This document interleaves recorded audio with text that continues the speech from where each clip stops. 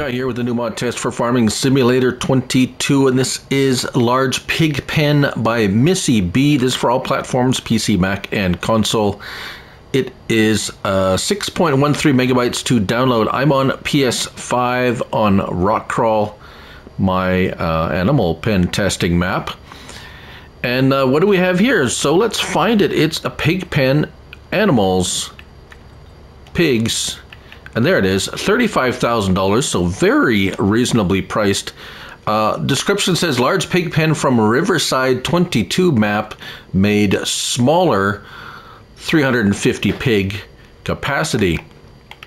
As you can see here, it is a, a reasonable size, uh, reasonably, I would say reasonably, a medium-sized pig pen in uh, in the form of area anyways. Uh, no alternate looks. It is what it is.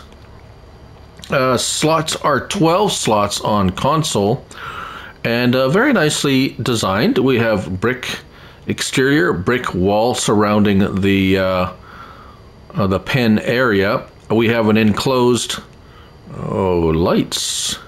We have lights here. Let's see. No light switch. I'm going to say it is automatic and the easy way to check that is we're just going to go over here and pick uh, a January day and there we go. The lights automatically come on when it's dark. A nice uh, heat lamps it looks like. Right so let's go back into uh, June here for uh, daytime lighting there you go. So uh, lighting, light, lighted automatic lighting. At night we have our animal dialogue here. This gate opens just like so.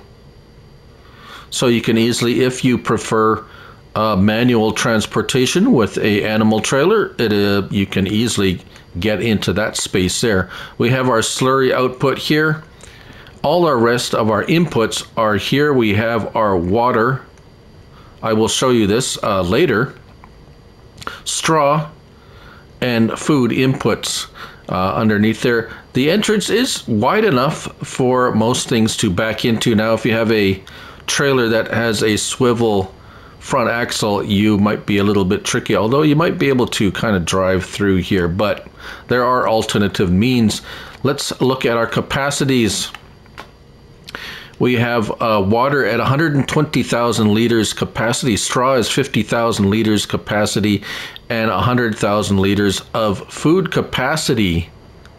Uh, yes, and it does take straw bales. I will show you that once we run it a month. So we're going to run it forward, see what we end up with uh, slurry, and see how our inputs hold up with the 350 pigs. Oh, manure. Yes, nearly forgot that. We have straw, so that means we need to put down a manure heap. And um, let's see here. Let's put one over here and see if it catches it, which should, because uh, it sh should be in range. So we're going to test that. If it doesn't, we'll test it again. But I think we should be all right over there. Um, and right on. So let's uh, move forward and we'll come back and see what happens. All right, so we are back and let's uh, take a run over real quick. So looks like we still have stuff there. And did we did we pick up manure? Yes, we got 108 uh, oh, 10,822 liters, 10,000 liters of manure. So it is working fine. Slurry, yes. So let's take a look at our capacities now. And uh, slurry, we got 20,000 liters. So um, a vast, oh, by looking at that, it nearly did barely tick the bottom of the capacity there. So we're looking at 300,000 liters at least uh, capacity for slurry. No problems there.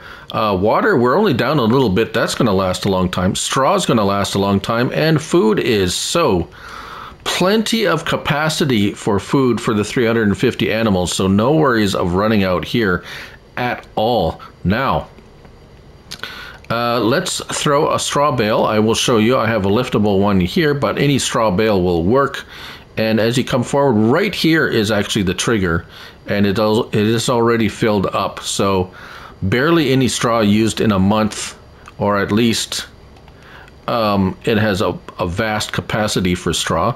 Now, uh, water, we have some water in this tank. Most, this is the 82 Studio TLX tank, and I just actually backed it in here like so most tanks should uh, should be able to. There it is, the trigger right there, and water going in. So there we go. That's good. Uh, once it's filled up, it doesn't, as you can say, the water, see, as the water didn't go down that much. So a smaller tank, you should be able to service that quite well. And pig food, uh, oh, I have pig food in a trailer here. So I did use the global uh, global pallet to fill these up, but uh, oh, oh, that was pig food from the. Ah, right. So we're backed up here. Let me just make sure that I move this far enough away that we are not interfering with that. And there we go. Start overloading pig food. And there we go. Easy peasy, just like that. And do you have enough clearance for a tipper, a small tipper at least.